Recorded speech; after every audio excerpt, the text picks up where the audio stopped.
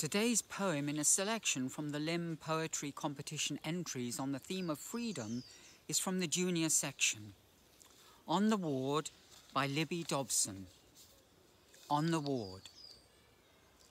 Lifeless bodies lay in each bed, machines monotonously beeping next to each one. Dozens of medical staff watching over them, checking vitals and charts, machines and medicine.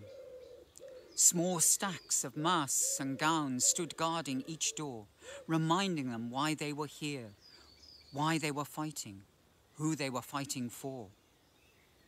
Every three or four hours, people left and others entered.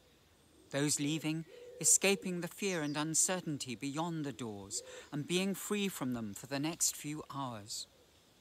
Those entering, getting ready to help their patients fight for their lives so they could get out of this place and to their families again, hoping they could do the same and be free from the wards.